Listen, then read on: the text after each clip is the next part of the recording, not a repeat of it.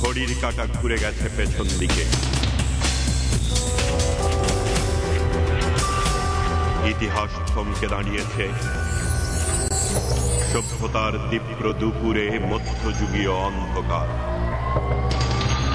সাম্প্রদায়িক সন্ত্রাস, রাজনৈতিক প্রতিহিংসা পাশবিকতা ও বর্বরতার এমন সর্বগ্রাসী উন্মত্ত বিকার স্বাধীন বাংলাদেশ আর কখনো প্রত্যক্ষ করেনি।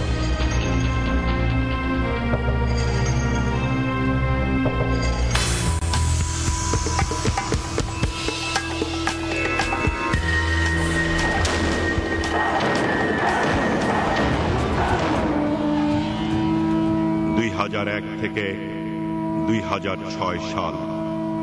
কি ঘটেছিল বাংলাদেশে? ফিরে দেখা ফিরে দেখা।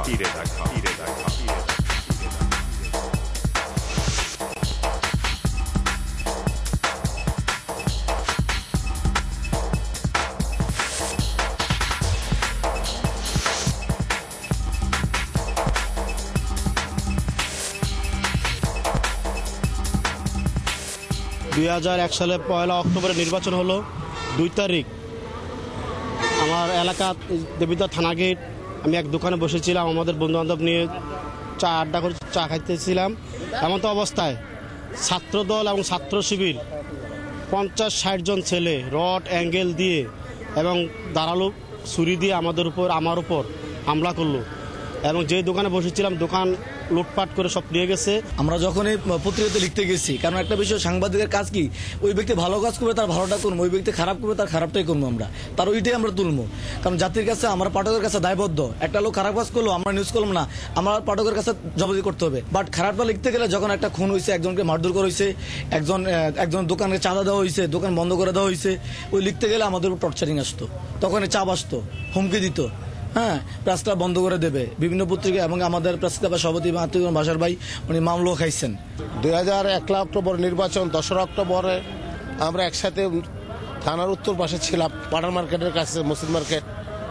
তখন কিছু সঙ্গ ছেলেবেলা আইসা হ্যাঁ আমু নামে একটা ছেলে, যে এই ছেলেটার, এই ছেলেটারে যা মায়ের মারপিট করছে এটা ভাষাহীন তখন আমার এক সহকর্মী মামুনুর রশিদ আব্দুল্লাহ মামুন এই এই চত্বর থেকে ওনার রাতের বেলা ছবি তুলতে এসেছিল বাট আমি ছিলাম পেছনে।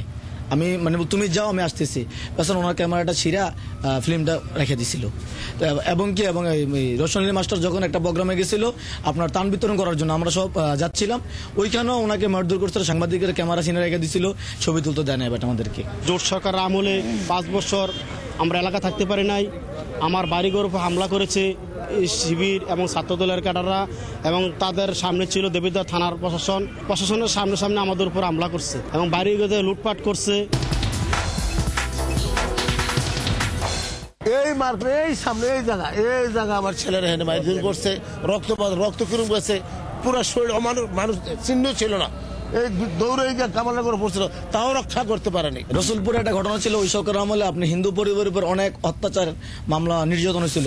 এমনকি মায়ের সামনে বোনকে দর্শন করা হয়েছিল বোনের সামনে মাকে দর্শন করা হয়েছিল একটা হিন্দু ফ্যামিলিতে। সেখানে পুলিশ প্রশাসন থাকাও পরে একটা টিম গঠন করছিল ওইখানে দেওয়ার পরে কিছুটা সক্রিয় ছিল এমনকি সারা বাংলাদেশ সকল পত্রিকাতে স্পেসগুলো আসছিল। যখন হামলা করছিল তাদের হাতে হচ্ছে ছিল ওই গ্যাসের পাইপ হকি স্টিক এবং দাও মানে রান দাও যেটা বলে এবং অস্ত্র ছিল তাদের সাথে। আমাকে যখন শিবিরে ছেলেরা ধরলো ধরা পড়ে তখন ওই আপনার যে ব্লেড জাতীয় কিছু আছে ওটা দিয়ে আমার পায়ে পোস্ট মারছে ছুরি রক কেটে গেছে। আমি অনেক দিন মানে পঙ্গুর সাথে ছিলাম। বারবার টেলিফোনে রাইতে রাইতে অন্ধকারেও বলতো টাকা পাঁচ লাখ নিয়ে আসো। টাকা তো পাঁচ লাখ। এবার টাকা আছে আর টাকা টাকার অভাব নেই। টাকা আমার ছেলেকে রক্তপাত করছে এটা কি টাকা শেষ হয়েছে না? দুশো অক্টোবর আমার বাড়ি হামলা দিল পুলিশ পুরো বাড়ি গেরাও কয়েকশো পুলিশ। আমি কীভাবে বাড়ি থেকে সরে গেছি আল্লাহ তালে বিনা কেউ জানা এরপর থেকে দেবীদের নেতা কর্মী দেবীদের আসতে পারেনি আমরা আমাদের ছাত্রলীগের যারা সিনিয়র ছিলাম, তাদেরকে যে মারতে পারতো, তাদেরকে মঞ্জুর হাসান মুন্সি তাদেরকে কাজ দিত, তাদেরকে পুরস্কার ঘোষণা করতো। এই বিএনপি অত্যাচারের শিকার হয়ে আমার মামা স্টুক করে মারা গেছে। আমার নেতা A B M Golam Hasan বলেছে দেবিদ্দারে একটা পিঁপড়ে উপর আঘাত করবে না। দেবিদ্যার ছাত্রদল এবং ছাত্র শিবির যারা আমাদের উপরে বারবার নির্যাতন চালাইছে যারা অত্যাচারে পাঁচ বছর থাকতে পারে নাই তারা এখনও বুক খুলে আমাদের চেয়ে আরও ভালো অবস্থান তাদের আছে এখানে। পুলিশের ভূমিকা ছিল ওই বিএনপির মতন। বিএনপি। যাহা করিয়াছে তারা তার তারও বেশি করছে। যদি বিএনপি করছে উমুকটা একটু করছে, তারা দশজনটা করছে। এবং তারা প্রথম সন্ত্রাসী ছিল তারা। এই যে বললাম দারগা শফিকুল ইসলাম সে একজন সন্ত্রাসের গডফাদার ছিল। আমার ছেলের যে যে হিট করে, হিট করার পরে তারা সব চলে গেছে। আমরা আসছি। আবার এই সবগুলো সবের নেতৃত্বে আর দাগদা দারগা আইনল, এই দুইজনের নেতৃত্বে আবার আমরা হামলা দিছে। তারা সামনে, তারা পিছিয়ে এখন তো একদম সুন্দর। সবাই দেবিদ্যার প্রধান প্রেস ক্লাব ছিল একটা। এখন দেবিদ্যার টোটাল ভাগে ভাগে সাংবাদিক ফোরাম আছে press club বোজার press club Debidwar press club তিনটা গ্রুপে এখন কাজ করতেছে। সবাই স্বাধীন, সুন্দরভাবে লেখালেখি করতেছে, কোনো সমস্যা নাই। সবাই মত প্রকাশ করতে পারতেছে, তেমন কোনো ক্রাইমও নাই। মাননীয় প্রধানমন্ত্রীর কাছে আমার আকুল আবেদন, উনি যেন আমাদের যারা শিকার, আমাদের অত্যাচার স্বীকার করছে, যাদের হাতে আমরা অত্যাচার শিকার হয়েছি, তাদের বিচার যেন থানার মাধ্যমে বিচার, আইনের মাধ্যমে বিচার করে। আমি তাদের বিচার আমি মানুষের কাছে দেইনি। তারা যদি আমি তারা যদি নিম্নত মানে কিছু করে থাকে, তাদের বিচার আল্লাহ তালার তরফ থেকে ইনশাল্লাহ